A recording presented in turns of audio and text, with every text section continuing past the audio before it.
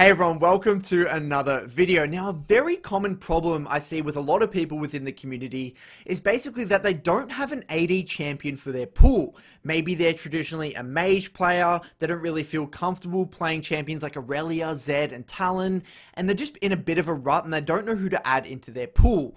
So I thought I'd basically solve that problem, and we're going to do it through the eyes of Pantheon.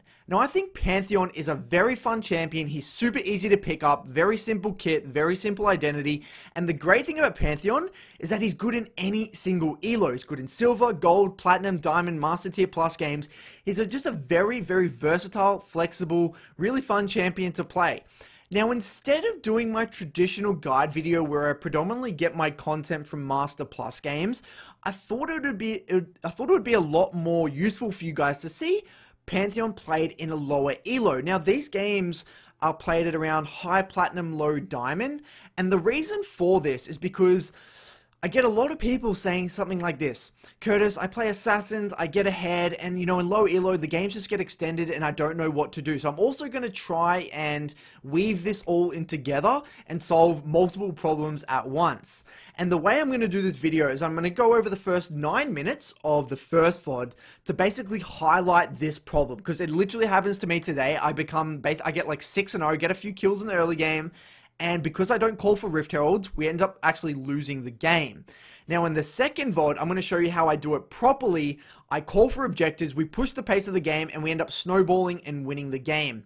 So hopefully after this video, you're not not only going to know how to play Pantheon or, you know, have the start the steps or begin the steps to pick up Pantheon, but you're going to be able to feel a lot more confident pushing leads while playing any early game champion.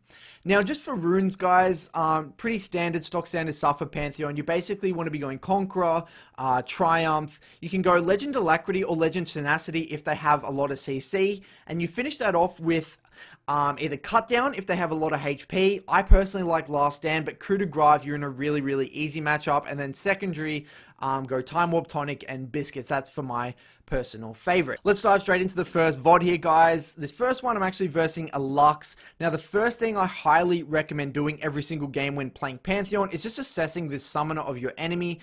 The reason this is important is because since you take Ignite, if these guys take a, you know, a defensive summoner like Cleanse, Barrier, Heal, or Exhaust, it's going to significantly lower your kill threat on this person. So it's good to just be conscious of it or have it on, in the back burner because otherwise if you don't consider it, you might get yourself into a bit of a sticky situation.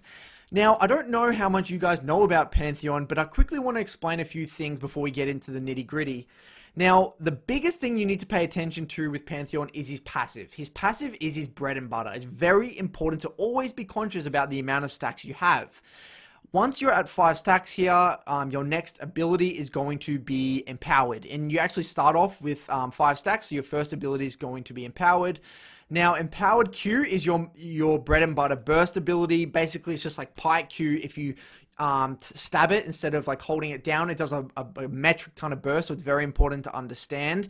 If you empower your W, now this is very important to understand. If you empower your W, it actually, it actually, what it, it does, it does, um, it stuns them, and then it does three quick uh, basic attacks. Now the basic attacks actually stack Conqueror, so it helps you stack up Conqueror, and um, it contributes three stacks towards your um, passive again on the next rotation of your passive, which is very, very important to know. Because when you do, say you want to do more of an extended skirmish, not just one-shotting someone, um, Empower W is really, really nice because again, you're utilizing your Conqueror stacks. It's actually building your Conqueror stacks and it's going to help you get an empowered, another empowered ability while you're in the fight. So it's very important to know that. Empowered E just it basically increases the duration. Um, and another important thing to note is that your R, when you use your R, it um, automatically makes your passive stacks go to full. So whatever ability you're going to have after your ultimate, it's going to be empowered, which is very, very, very helpful to understand, uh, to know as well. Now, level 1 as Pantheon, basically what you want to be looking to do is find a way to get this Q onto the enemy. Um, sometimes you're just going to get completely outranged and that's fine, um, but a, a, quick little tip, what you can actually do is what I do this game. Um, I'm positioning outside the wave, I'm keeping my attention focused on which um, what which uh, minion this uh, Lux is going to go for, and then make Lux make a choice, bang, between going for the minion or taking a Q to the face, or she just misses it. So look at this. I know she's going to look to auto attack this minion here, and I'm able to just to walk up and get a nice little Q to the face. And notice how much damage that does. Now, in terms of wave position in the early game, there's basically two things, basically only two options. One, you're going to be letting the enemy push you in level 1 and 2. You want to be ideally holding it in this pocket around here. Um, and, and, then around level 3, you're going to be looking for long extended trades, just doubling on them. Um, you know, Q with your empowered Q, blocking any follow-up damage with your E and then getting a really, really nice trade. And the beautiful thing about this one, this is also really good if you're versing, if you have an early ganking jungler, they can really capitalize on this. The other way of playing Pantheon in your wave level 1 is kind of keeping it in the middle slash slightly pushing. This is so you can, um, in between waves, actually get a nice little ward at around 230. For those of you who've watched my wave, uh, my, uh, my jungle tracking video, you'll understand why that's really important, and I actually do it within this video here. Um, so that's the benefit of actually kind of pushing or holding it in the middle level one. Um, and more importantly, if you do that, you're actually going to have more of a chance to get double scuttle for your jungler because you, are always going to get to river first. That's the only downside of kind of getting pushed in early is that um, you're not going to be able to get to those river skirmishes as easily. Now, um, yeah, in the early game here, one thing that you can actually do um, is you can actually look to last hit with your Q and try and poke them at the same time. That's what I do sometimes. I try and aim my Q through the minion into them as well, um, but it's not a big deal if you don't because the damage really isn't that high. But notice how I'm always standing outside the minions at this point because I'm trying to actually get a bit of a shove going on here into this Lux so I can get a deep ward um, to spot out the enemy jungler's path. Knowing it's a, it's a Zac, and I really want to know if he's doing a full clear, what sort of path he's actually looking to do.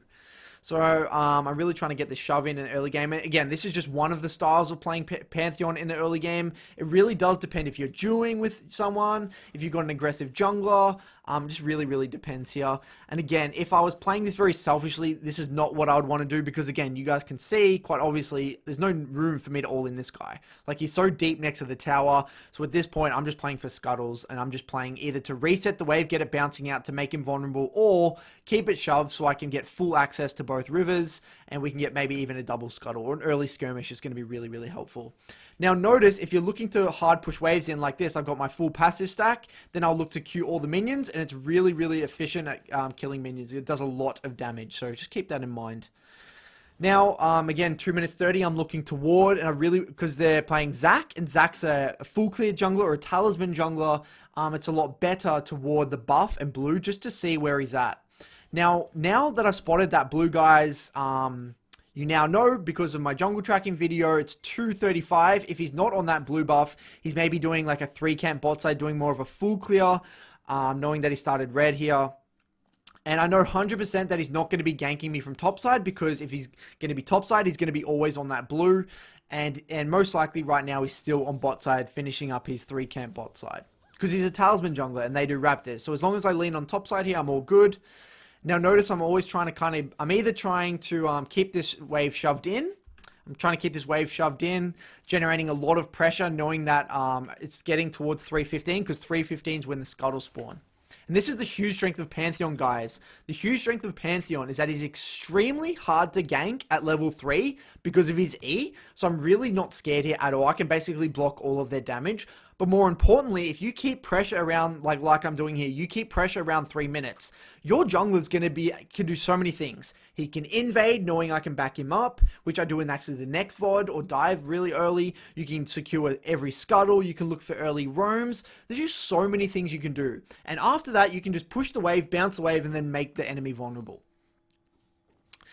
Now look, the jungler comes in. I'm leaning to the top side because I know Zac. I've just pressed tab to check his CS. He's got 12, so I know he's done 3 camp bot side. I know he's 100% going to be going on to his, um, his top side jungle right now. So now we know where Zac is at the moment. Now I notice that Lux has actually got a few minions um, pushing towards me, and I see that um, I know that Sylas is going to be heading into the river very soon. And because we know where Zac is, I feel confident of actually setting up a gank on this Lux before we go for that top scuttle fight. So what I actually do here is instead of just spamming my abilities on the wave here, I actually let it come out a little bit and try to set up a gank.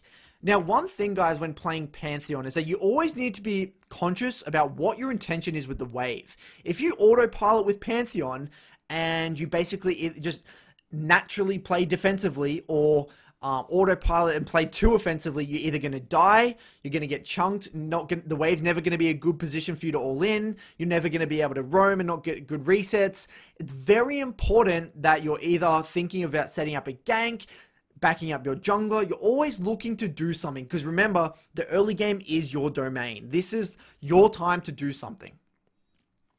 Now, um, I know that Lux hasn't watered yet. I'm pretty sure Lux actually hadn't watered. No, I think that he watered in that, that bush. I know he, yeah, so I know he's watering in that, oh, I don't even know if he watered in that bush. I think he's faked it. I think this Lux honestly faked it but we'll see. Anyway, I knew that we could really um, get this gank off. I knew that she was very overextended. I know we have a lot of chain CC, so I do flash W, and then Sylas misses E, unfortunately. So, um, it is what it is here, and we actually fail the gank, but we blow, um, we blow both summoners onto this Lux. Now, you can kind of see the the theory here. In theory, this gank would have worked if Sylas hits the E, because then he can actually get the W as well, and then just completely, it's just so free. But um, here ends up giving double buffs to this Lux. We fail the gank. We know Zac's top side right now. It is what it is. But then this guy overextends, and what do I notice right now, guys? What do I see? I have 10 stacks of my Conqueror. The wave's still in an awkward position. Lux doesn't have any summoners, and I'm actually sitting on full 5 stacks. So I know I'm very, very strong. So I know I want to utilize my, my 10 Conqueror stacks. It just disappears then, but it doesn't matter because I still have my my um my fully stacked passive. Look at that. Bang, bang, bang. Auto attack. Um, Q. Now look look what happens when I do my empowered W. It gets three, it gets me so many stacks of my Conqueror super, super quickly. It allows me to um, get, you'll see, actually get three stacks of my passive straight away. So there's a few things you can do. You can either instantly use your E, auto, then Q for the empowered Q, or you can just um, auto attack, auto attack Q, or you can just um, you know Q E, whatever, whatever you really want to do, as long as um, you're either finishing them off or trying to E-auto and then um, time it for the empowered Q. But they already knew I could just kill him there. But I think what I should have done here in terms of efficiency, I should have actually E'd here, then auto attacked, then empowered Q'd. But I felt like it was a free kill anyway. But anyway, get that kill, really, really nice. Um, so this is really big for me, guys. I'm one and zero as Pantheon. Now, this is a very common situation you're going to be on Pantheon. You're going to, you know, have these early skirmishes, whether it's around a scuttle or a gank or whatever. Um, and you're going to be in this situation. Now, you'll notice what I do after this um, is very, very important to understand.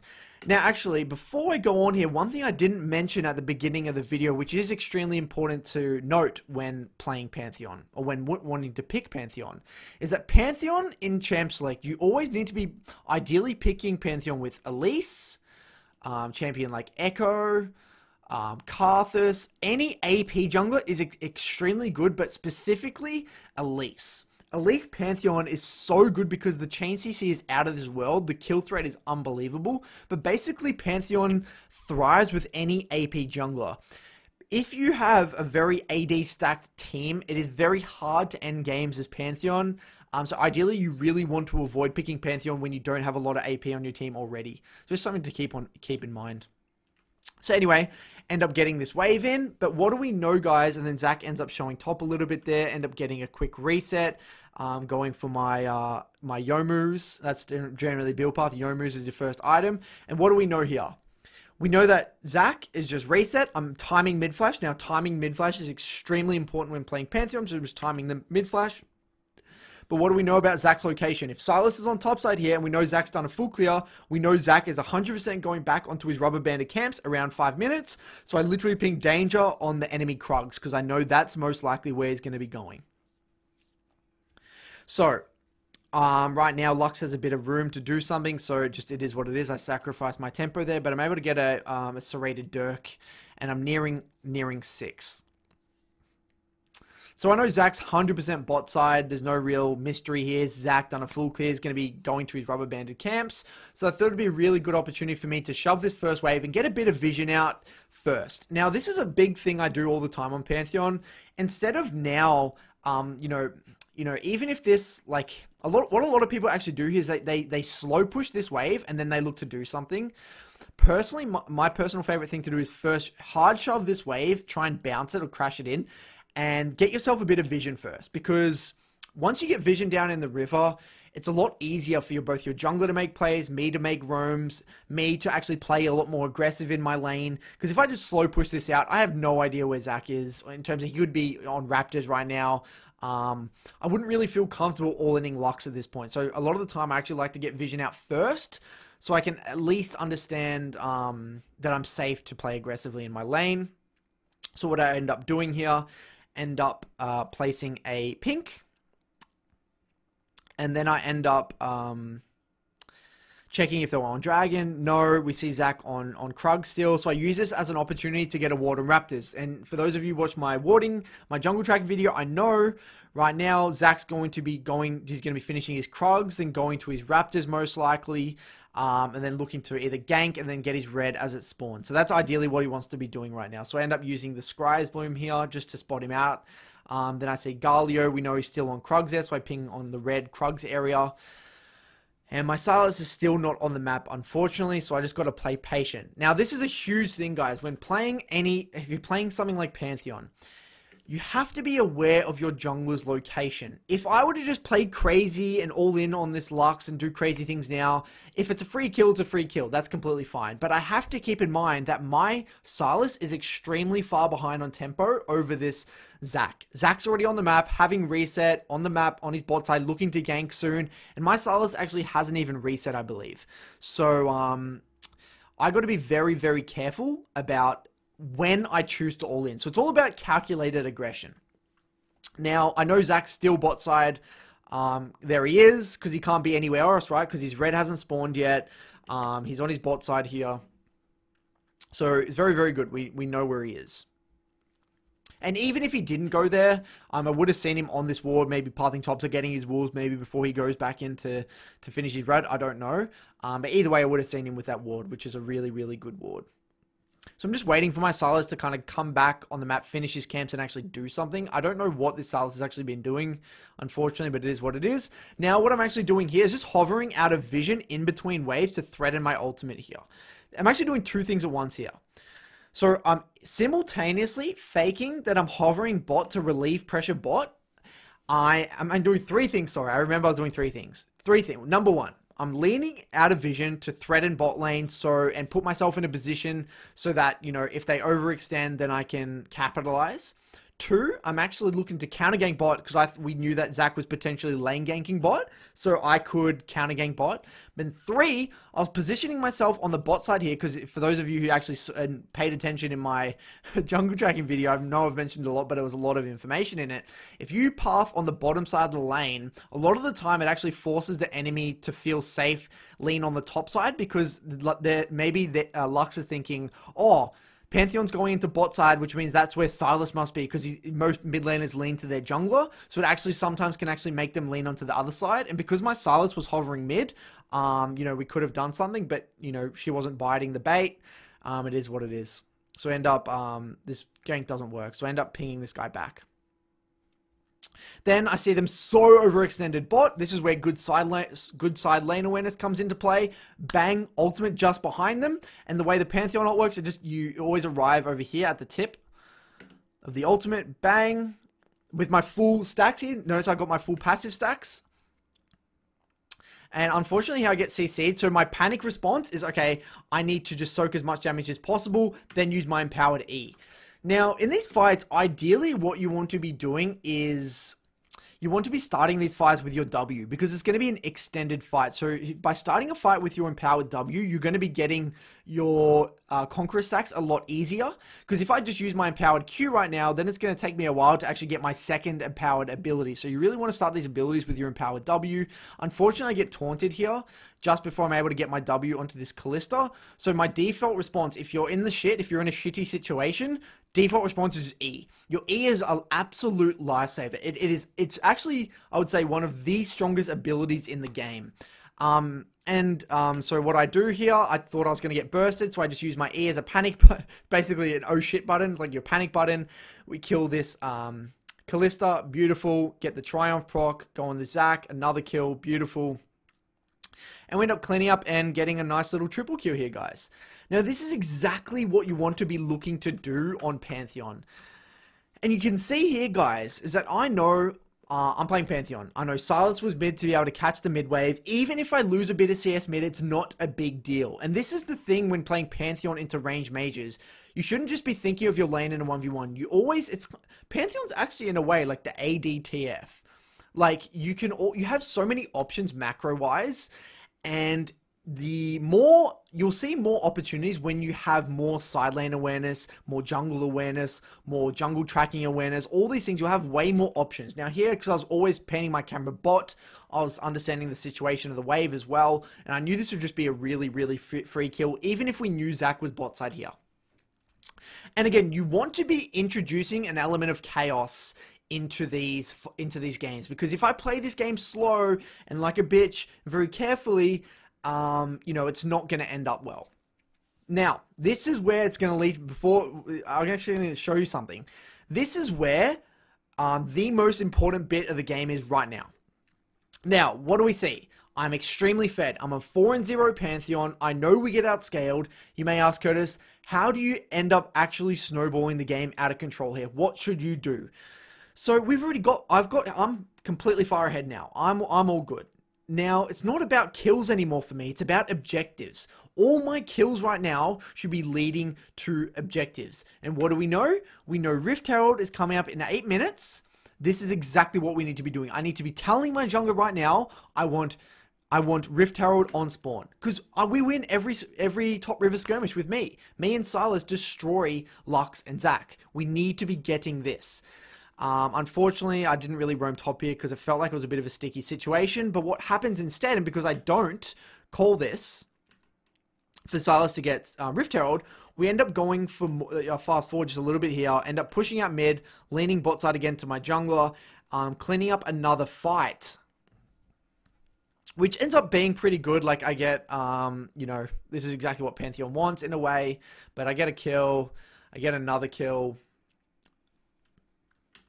But then, like, we get plates, cool, but we're just not getting enough. We get a dragon, cool, but look what happens because of this. We stay on the map, we get another kill into this Lux, because we're all happy doing getting all these kills, in a second you'll find out that Zac ends up soloing Rift Herald. Now, yes, I can still win the game without Rift Herald. I can still win the game with all these kills. I'm 7-0, beautiful getting dragons. But what I found in my experience, I actually lose this game. I literally pause it right now. I lose this game. And I end up, I think I was like 15 and 2 or something. I still lose.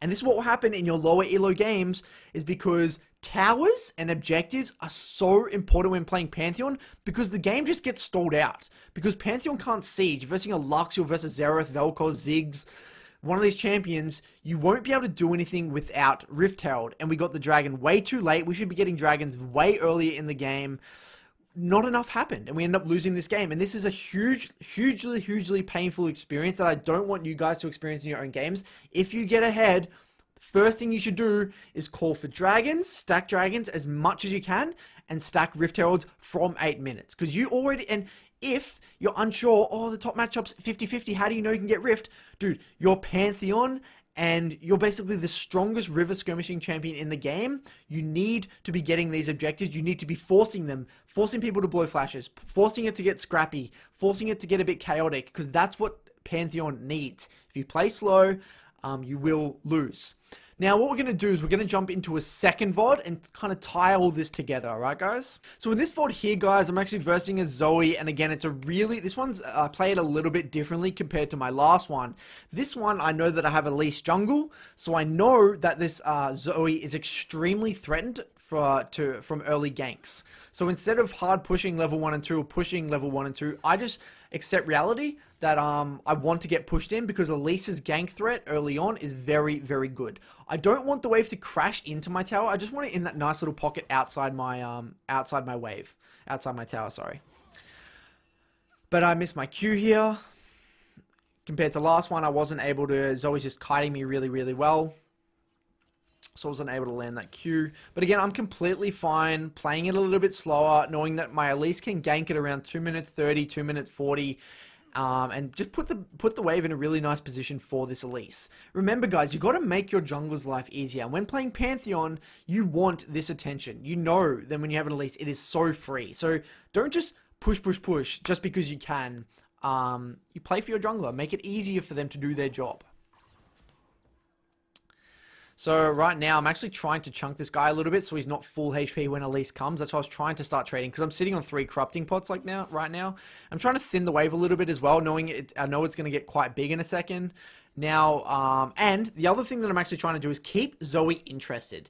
If you play two defensive level one and two, what this is actually going to happen is this guy, Zoe's just going to be able to freely walk into river and um, and get a ward. But if I could keep this Zoe interested, you know, trade a bit of HP, use a corrupting pot, use a few abilities, keep her interested, she's going to completely forget about warding or she's not going to be prioritizing warding. And what do I do? I walk up at level 3, get my empowered Q, bang, and we blow cleanse. Now look at this. And the way I want to talk about this actually is super interesting generally in these more burst oriented um, fights in the early game, you don't want to be starting with empowered W. Ideally, you want to be having three or four stacks. Three stacks is good because then you can do um, W, um, AA, and then empowered Q. Uh, if you have four stacks, you should do W and then Q and then auto attack. You want to be getting that empowered Q. Um, because look what I do there. I had three auto attack after my W. Um, Ignite thought we we're actually going to chase and kill that guy, but we didn't. So we end up blowing his cleanse, which was really, really big. Now, what do we know about Zoe and what do we know about Elise and what do we know about Pantheon? We know that Pantheon is extremely good at diving because your E actually blocks tower tower shots. Elise can also break aggro from towers, so I knew diving is really, really big. And this is the sort of thing you can be looking to do with Pantheon is um, dive, these early dives. If you take these early, uh, get these really nice um, early ganks off. And I try to um, flash stun. I was just out of range here. I thought she was going to turn back for that CS, but she didn't. But I know we can completely chase, and it doesn't even matter if Rengar comes, because, you know, we're, we're Elise Pantheon. You can do whatever you want. We know this guy doesn't have any summoners. We can just chase him down, bang, and we get another nice little double kill here. And this is the power, and this is the strength of Pantheon Elise. It literally doesn't even matter what jungler they play here. I get my empowered my empowered Q there, I believe. Um, yeah, so what I do here, I had four stacks. I W, auto attack, then Q. So in the empowered Q for that burst, look at that. He wasn't even able to get his heal off or anything. And then we're able to get a nice little kill and then chase down this for a double kill. Again, pretty standard stuff, but this is, notice how this is a little different compared to the last game. Um, we failed, I failed the gank in the last game, but um, this one I actually got it done. Now this VOD's going to be all about what do I do to push my lead. Now, the differences in this fight as well, I said level 1, I literally told my jungler, hey Lise, at 8 minutes, I want to do Rift with my pressure. That's literally what I said. So we got that kill, I go for a reset, I couldn't afford my dagger. If you can't afford dagger, then just go triple longsword, you can go triple longsword. I could have also opted in for um, starting to build towards my Mercury chest, but I just want to snowball. I want that lethality. I want to kill people. Um, you know, I want to push the pace of the game. Now, Again, what do I do? Again, a lot of the time, like I did last video, in this little window before I come back to lane, I really like to get my vision out just so it gives me that freedom to play aggressively. Because if I get my vision out now, um, I know that this is basically going to be an isolated 1v1 and the jungler's not going to be anywhere near. And here I end up getting clipped by a bubble and taking a pretty bad trade, unfortunately. Um, it is what it is. Ow. So, but I was very happy with Zoe pushing me in right now. And unfortunately, she's picked up a cleanse, which is super annoying with a W. Um, but, you know, it is what it is here. So I had the wave in a pretty good spot. Now, this is the, the dynamic this, uh, with um, Pantheon and a, a ganking jungle is very interesting. One or two things will happen you will be so threatening that this guy never touches the wave and you just get shove. You can just get shove and move. So this means you can move into river, you can look for ultimates on sides, you can look for jungle invades, you can start objectives because they're going to be so scared that they can't walk up. Or they don't respect they try to keep you down. They don't respect your kill threat 2v2. They don't lean, they don't ward, and they just die to gank. So even this guy has cleanse. Um, Elise knows that we have a lot of kill threat because the wave's in a really, really good spot. Fast forwarding a little bit here. Um, Zoe's not respecting. So you'll see in a second.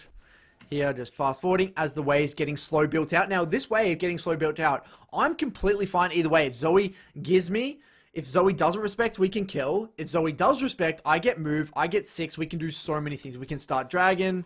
We can look for an invade on the jungle and the red. There's just so many things we can actually do right now. Because if this guy respected, I would have 100% looked to invade this red right now.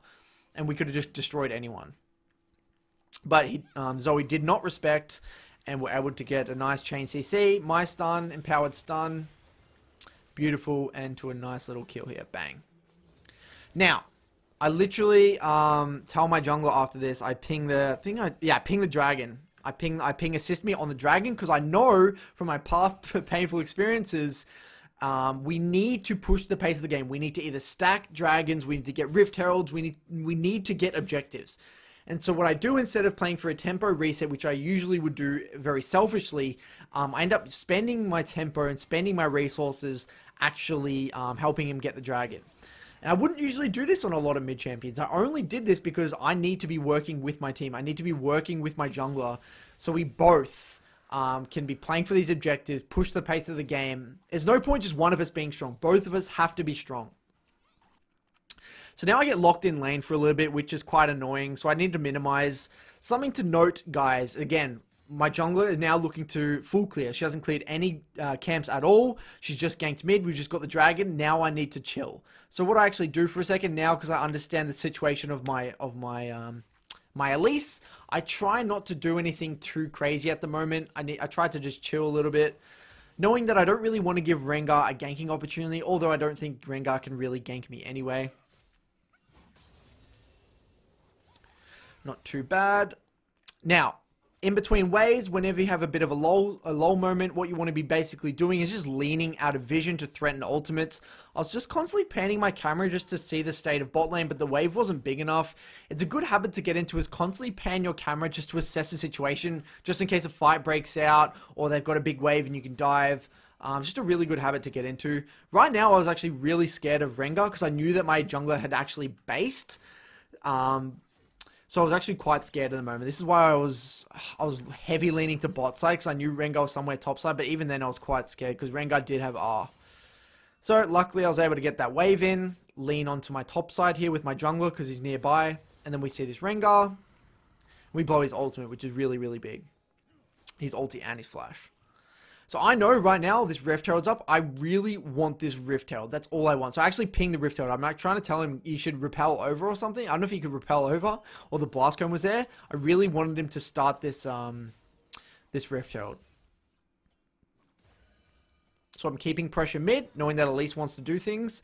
I see bot lane trying to hover bot. Then I see Elise go topside. So again, any single river skirmish like this, I need to be there. I actually think this is a mistake for me even leaning bot side here. I should be fully committing to leaning towards my jungler. I, I, if bot wins or dies or anything, I should just leave it. I should just play to top side 100% here. I think this is really bad by me. This is something I would review after and be like, what am I doing? Because you can actually, one thing on Pantheon, and, and, if you're reviewing Pantheon, every single wave you should be reviewing, why did I lean this side? Was this an efficient uh, lean? Did I get anything off this lean? Should I have ultimate here? Why didn't I ultimate here? You should always be looking how did you use every single wave of pressure? Because again, you have all this pressure in the early game, you need to do something. It's really good habit to get into is actually um, review every single one of them. Here, I got greedy. I should have just flash queued him, but I thought he would survive. And anyway, we end up trading kills. So I get this Rengar, and then they're chasing me, and I end up dying here. I think I could have flashed and got out. I don't know why I didn't flash here. I, maybe I just felt like I'd get chased down by by Zoe because she had the the the um the rift scuttle and she had ignite and they're all there. Maybe I thought I was just dead anyway. I thought I'd just get chased down, so I just thought I'd be better for me to conserve my flash. It is what it is. I think that's all my bad anyway. That all for me stems off me leaning, not leaning topside. My Elise is topside here. I should not be leaning bot side at all. I should be off this wave, leaning topside. Because if Rengar shows, we win the 2v2. If not, we can literally start Rift Herald. We can do whatever. We could invade the jungle. This was just really bad by me. So I, I'm sorry, Elise, if you're watching this video. This, is uh, completely my bad. Anyway, coming back on the map, what do I need to do? I need to make sure we are going for this Rift Herald. And right now, I thought Zoe was actually committing to this tower, so I ended up using my ultimate, but for some reason she just did one auto attack. So I was so confused here. I'm like, why would she walk up for one auto attack? Like, who does that? It's either they just fully reset or they stay for multiple autos. Who stays for one auto attack? So I was so confused there. So that was another misplay by me. But again, because I told my uh, Lise to do Rift Herald, any of these Rift Herald fights are good. And look at this. If a fight breaks out, I'm going to get here first. Zoe can't follow into these fights. Um, this is exactly what I want. Then um, Yuumi ends up coming here. So uh, we end up burning nothing. Is what it is. Elise gets the Rift Herald. Now, ideally, the way you want to use Rift Herald is ideally you want to get a few plates first by yourself and then um, Rift Herald. So, you like ideally you want to be using it for the last two plates. The other play of the other way of using Rift Herald is you and the jungler make a side lane play, and if you get a kill, then you use it because then you can have four people hitting the tower. So it's a really good way to use Rift. I actually don't agree with the way we used Rift here. We did know that um, Zoe was basing um, and resetting but I just don't think this was worth. Like we got a few plates. I believe we get you know we we get the tower to one plate, but just not a fan of the way we use this rift here because we can't do anything off it. Like a big a big principle I got from from pro players, a rift is only good for one or two reasons. You use a rift to create pressure to do something else. So, for example, maybe we're going to dive bot or dive aside or get a dragon or steal a buff or whatever. Make them react to the Rift Herald so they, they have to spend time dealing with it to do something else. Or it just literally use it on two um, on two plates and it ends up breaking the tower fully because the last two plates are the hardest to kill. So I don't really agree with the way we use this, unfortunately. Um, but we nearly get the tower. But, you know, worst case scenario, we have the next rift. We're going to get a lot more pressure. That tower is really close to dying. Um, it's not too bad. End up hovering, hovering bot side. Dragons coming up again soon. Um, so again, the pace of the game is getting pushed. It's not just leading to scaling. Um, it's not just in a lull state. We are doing things. Everyone's blowing flashes. It's turning chaotic. We're getting objectives. It's looking pretty good. This is this is the type of game that you want. Now, I knew my jungle was around me. Now, this is another thing, guys. When you know your team is around you, so I, I know that my jungler is on the enemy raptors. I know my support's hovering me at the moment. I know that if I force a fight here, my team will back me up. When playing Pantheon, because your E is such good durability and such good survivability, you can actually drag out skirmishes. So one thing you can actually do is when your jungler's in the area, just force stuff. Get things happening because you can survive long enough that people can come back you up. So here I go for this play, even though I know the enemy's in the area, I soak a bit of damage here, or they, they stop them from um, you know, bursting me or whatever if, if they were closer, and then my team's able to capitalize and end up bursting this Teemo. Again, I'm only doing this because my jungler's in the area. I wouldn't do these sorts of plays if my jungler's farming bot side or ganking bot. I would not do these plays. You always have to be aware about your jungler's location. If my jungler chose not to play towards mid this game, then it's fine. I would play for wave and then play for hover and play for ultimates onto side, very much like I did in that last game, because constantly ultimate the side. But that's just not the case. And again, every all these 2v2 skirmishes, I'm very happy. Now, I actually go for a really aggressive play here. So look at this. I know this um this Zoe didn't have flash, so I flash W, auto attack. I use my, so this is actually next level. This is what you need to be doing on Pantheon. So I know I only have one stack of my passive. So I, I just flash W, auto attack, then what I do is I auto attack one more, so I've got four stacks here. Now, Zoe's actually kiting me because I'm exhausted and with her movement speed of her W, so I can't get in range. So what I actually do here, I know I have Ignite, I know I have my E and Q, but if I know if I use um, Ignite and my normal Q, it won't kill Zoe. I need the empowered Q. So what I actually do, I use my E to get my last passive stack, Ignite, then Q. Look at that. E, Ignite, Q, bang, one shot. So again, this is why you need to be always constantly conscious of your passive stacks because it really it it actually dictates the order of your abilities. Now, if I had full passive stacks from the beginning of this, then I probably I mean, you know, if I had full stacks, I would probably flash W for to get more conqueror stacks, then then I would E auto then Q because then I would get my second um my second uh passive fully stacked passive. So it really depends on how many stacks you have, okay?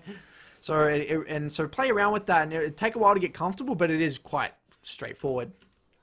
Now, fast forwarding here, um, got my Mercury treads working towards my, um, what's that? Oh, I keep forgetting that. I always forget the name of this item. You know, the, the lethality item, is it, not Umbral Glaive, the one that gives you the spell shield. It's like the AD lethality Banshee's Veil. Whatever the hell that one's called. Oh, is it Night, Knight's Veil? Something like that. Now, out of base here, um, another good tip here, guys. When you go Youmuu's, another I mean, I don't I think I, yeah, do it here, is when coming out of base like this, you can actually use Youmuu's and actually look for lane ganks. So what I actually do here, I pan my camera. I know Zoe doesn't really have too much tempo on me. So what I use, I use my Youmuu's. I pan my camera bot. I thought they were going to overextend. So I just start leaning. I start leaning out of base to look for these lane ganks. This is something you can do on Pantheon because Pantheon ult is so good. And again, a huge thing, guys, with Pantheon let's just say I ultimate bot and we um, get a double kill and we get bot tower, but I lose mid tower.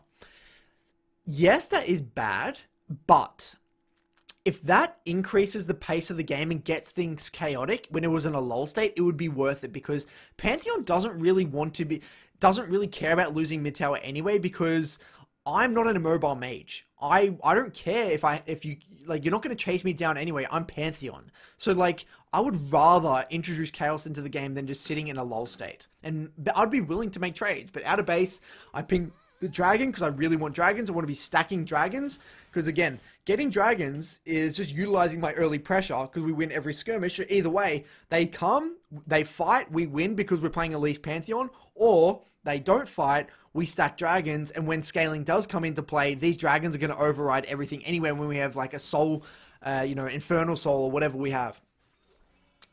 Now, uh, go back mid because we've secured this dragon here. Try to dodge the E, but I don't get it, unfortunately. Um, this was a perfect example, again, of doing that um, see how I use my E to stack up my passive, and then I get another auto attack, then I Q. I don't just like use my Q when it's on uh, not empowered. Now, now what happens at this point, I believe that we try and hover to break mid, which is really, really big. If you can break mid versus any immobile mage, it's extremely beneficial for Pantheon. Um, because then again, the, the quality of the game is just going to get, it's just going to get chaotic. It's going to get crazy. Um, they don't really have because uh, the main reason, actually, if you break this tower, if this guy shows mid here to collect the wave, you have so much room here to ultimate this way. Um, oh my god, look, what? Just let me erase that. It's inappropriate. Let's get off there. Get that out of there. Yeah, if, if I ulti here and um, Zoe's here, then um, there's so much room. Then Zoe basically can never catch waves up here. He always has to catch waves um, down at the tier 2. So getting mid tower is really, really good. And if it's just me versus Zoe, I get to push Zoe all the way to tier 2 here, then which gives me so much more room, so much more jungle control, so much more space to ultimate. You can kind of see how Pantheon is very much like and the aggressive AD version of TF. It's bursty, it's a lot of macro elements, there's a lot of pressure, wave clear, like it's just a, a lot more aggressive non-scaling version of TF. It's just which is um I love you know, a lot of you guys will love as well. But again, it does require a lot of this urgency, and it's intense. Playing, playing Pantheon is an intense thing. It really is. And again, look at this. So instead of resetting here, I noticed that the Kai'Sa was really overextended because Morgana came mid, and I knew Morgana was split from her AD carry. So again, side lane awareness, game sense here. I know that Kai'Sa is absolutely split, so I'm able to capitalize on the support being split from the um, from the AD carry. Beautiful empower W, and again, just um, look at this. So empower W, auto attack, Q, E on the back end there to um, block the tower shots. Nice.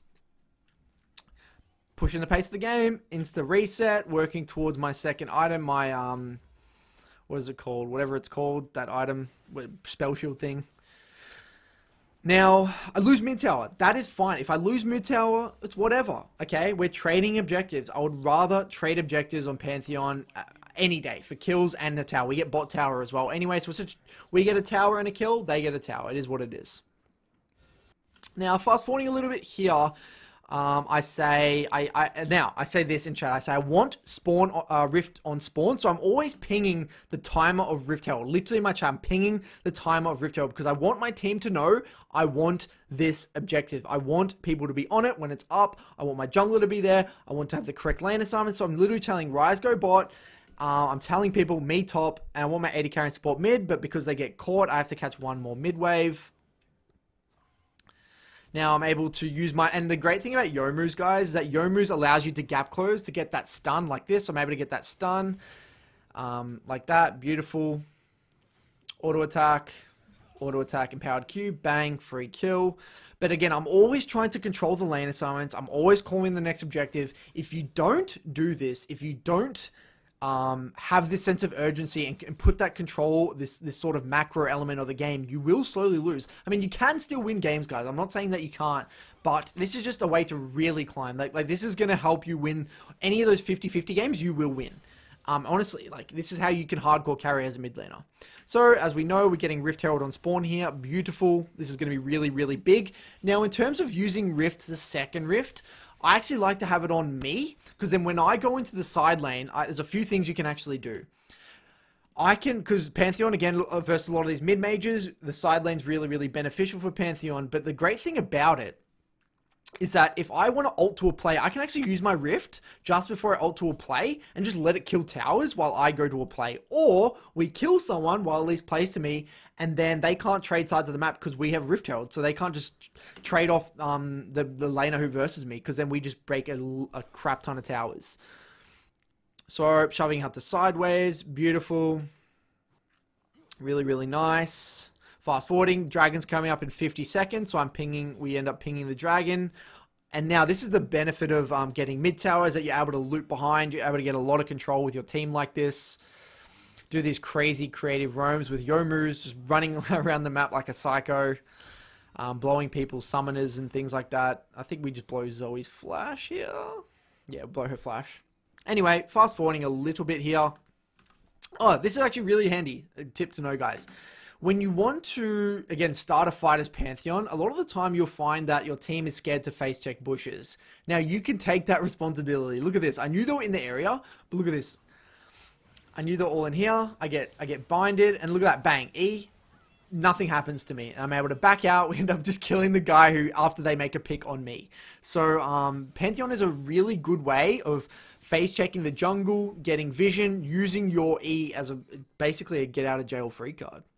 So again, I'm playing on bot side here because the dragon's the ne next objective. Always being on the objectives as it spawns, pushing the pace of the game. I know I'm saying this a lot, but trust me, I've had so many painful experiences, even in Platinum and Diamond. I was like, what is going wrong? I'm getting so many early kills, but I kept losing. And I realized, I had this, uh, this realization, I'm like, I'm in Platinum because when I'm in Platinum, people don't know macro. They won't use my lead to do anything. Whereas in Master Tier Plus, they will naturally use your lead to do things. They will nat- the junglers will naturally get dragons and objectives if they can. Because junglers are always looking to do it. Laners will abuse your pressure. They will play more aggressive. They will get deep vision. But in this elo, they don't do things. Okay, so like you gotta. It's like the way I view it is like you gotta manually start the car in a way. It's like when when you start a car, there's like when you stall a car, you gotta like push it or something. I don't know what the hell goes on with the car. I don't. I'm not a mechanic or anything, but basically, it's like you gotta push start a car when your battery's dead or something. So it's like the exact same thing. I'm I'm basically pushing the car instead of like being able to sit in it and start it the normal way. Anyway, we get another pick here. Beautiful. Then I want to go in the side lane. Once I'm in the side lane here, I want someone to react to me. And if someone reacts to me in the side lane, it's exactly like TF. If someone reacts here, I'll look to create a man advantage fight with my ultimate and trying to force a 4v5. Either or, or the jungler hovers me, um, which you can actually do if you're dueling, get the jungler to hover you, and actually just look for dives in the side lane. That's just another equally good option. Now, um, I'm telling the team 131 because Ryze was really, really strong here and I actually thought we could sneak Baron. So I make an interesting macro game call. As we fast forward a little bit here, I believe I, get a pick on this on this Teemo. Nothing too special here. But what actually happens, I see Ryze bot. He's very, very strong. So I use the Rift Herald top. And then what I actually do is I, I ping this Baron because I know they had no vision, they had no river control, they had no river control. So I thought, what what happens if we just do this? They're gonna have to react to this Ryze bot. Kai'Sa just shows bot. Maybe we can actually just sneak this, but it took too long. Um, and then Rengar just ulties, and then we end up um, kind of getting like we just get destroyed here on this Baron, unfortunately. So I make this call. I learnt my lesson. Maybe I was forcing a little bit too hard this this this specific call, but it's not the end of the world. Um, we trade some kills, but.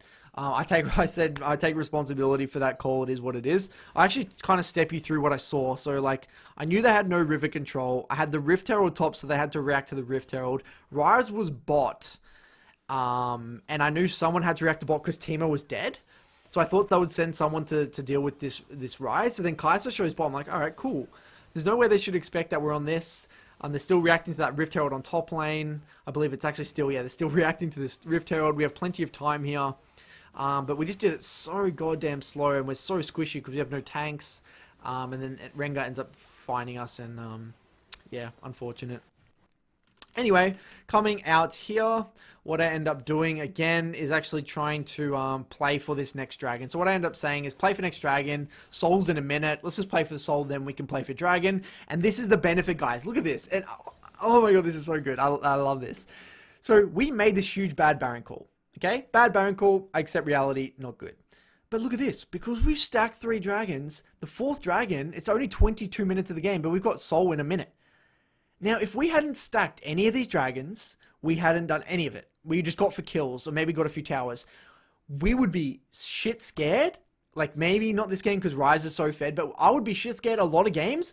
Oh my god, we're not going to be able to get Baron. Because Pantheon, a lot of time, Pantheon really struggles to do Baron a lot of the time, and you'll find a lot of comps struggle to do Baron, and then you're like, what do I do? If we can't do Baron and, and we don't have Dragon stacked, we're just going to get outscaled. We can't dive them, what do we do?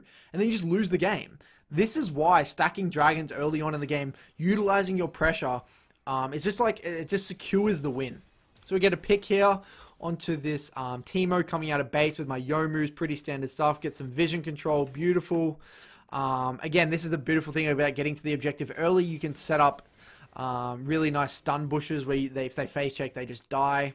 Steal the red buff, come back, secure the Ocean Soul, pretty self-explanatory stuff. Then we just go to the Baron, knowing that we actually, actually we just made a pick onto the Rengar. He steals the dragon, unfortunately. But then if he wants to sacrifice his life for dragon, cool. And this is the other thing of having three dragons stacked. You force the enemy to take a fight against you because they don't want to give soul. Because no one wants to give mountain soul. So either way, they give it, we're super strong, we win they don't give it and they fight us, we win the fight, or they die and we get Baron anyway. So either way, it's a win-win.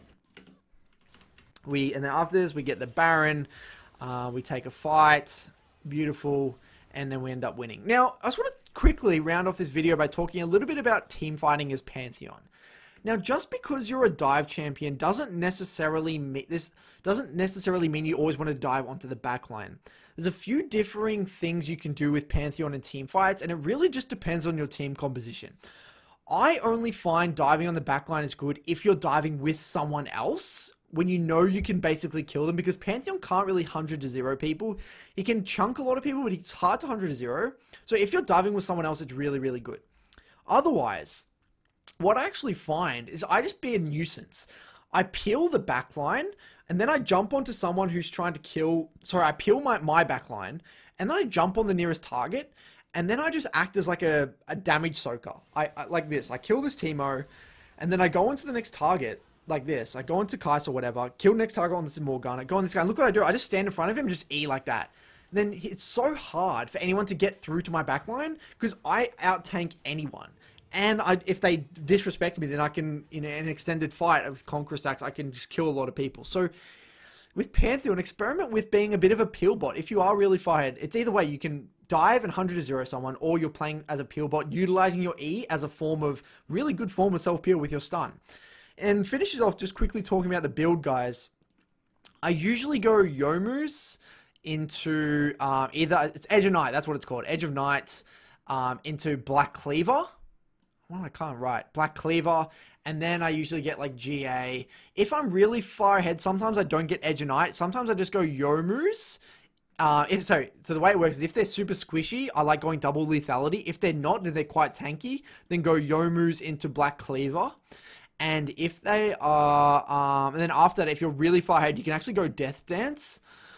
Um, Death Dance, Death, Death Dance is a really good item if you're ahead, but majority of the time I just go Youmuu's, like the double lethality into Edge of Night, and then I go into Black Cleaver, and then I usually just go into GA um, or more if I need it. Um, sometimes you can go Sterak's. Sterak's is not bad either, but generally this is like the standard the standard path. Now, I know this video was a little bit different to my usual video. I didn't want to go super in depth on Pantheon because I do really feel like he is a champion that just requires you playing him. Experiment around with it, push your limits, don't go, don't overthink things. He's a champion that is very fun, very simple. And again, his identity is just this this very simple 100 to 0 burst oriented um you know, AD assassin. You don't need to overcomplicate anything. But again, he has a get out of jail free card with his E. So have a bit of fun with Pantheon. Potentially experiment with him, adding him into your pool. Um, make sure you are pushing the pace of the game. Otherwise, you will lose games. And let me know how it go- goes, guys. Cheers.